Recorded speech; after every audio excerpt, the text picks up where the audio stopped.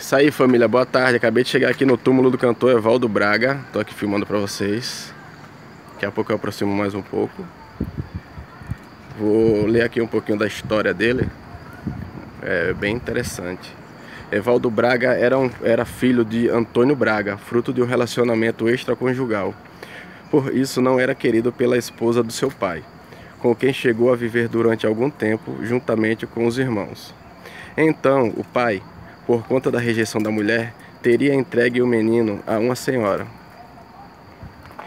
Sem conhecer sua mãe biológica, ele viveu parte da sua infância nas ruas, chegando a ser internado no SAM, Serviço de Amparo ao Menor, a atual Fundação Casa, onde ficou durante anos.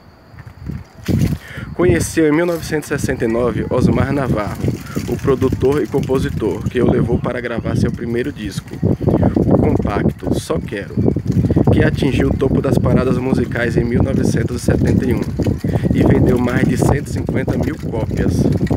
Lançou seu primeiro álbum, O Ídolo Negro, sob o selo Polidor da gravadora Fonogram, no mesmo ano. No ano seguinte lançou o volume 2, que continha Sorria Sorria, uma canção em parceria com Carmen Lúcia, que se tornou um hit consagrando o cantor.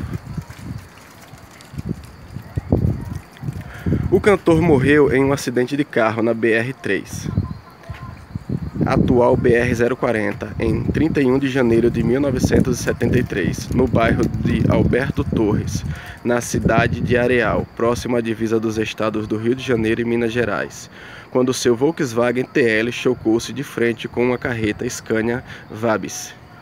Foi enterrado no cemitério São João Batista.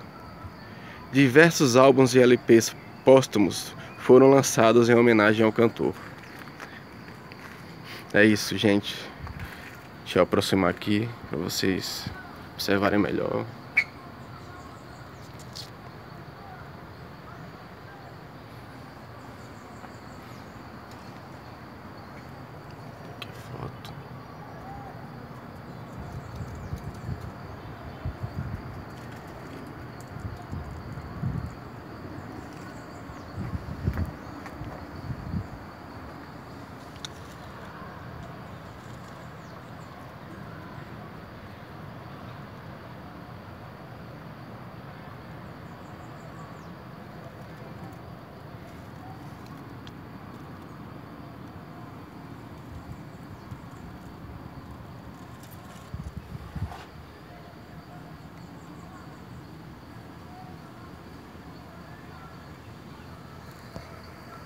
Aqui tem um, dois terços que os fãs já deixaram.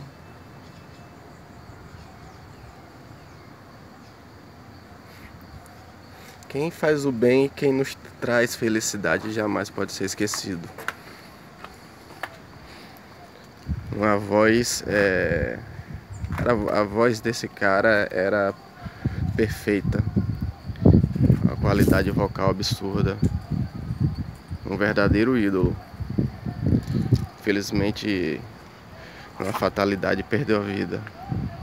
Mas está aqui, gente. Ah, para preservar a memória desse cantor e matar um pouco da saudade dos fãs. Tá aqui para vocês o túmulo do cantor Evaldo Braga. Lembrando que se vocês quiserem conhecer o túmulo de algum famoso aqui na cidade do Rio de Janeiro, vocês podem deixar nos comentários aí que assim que eu puder eu vou e gravo para vocês.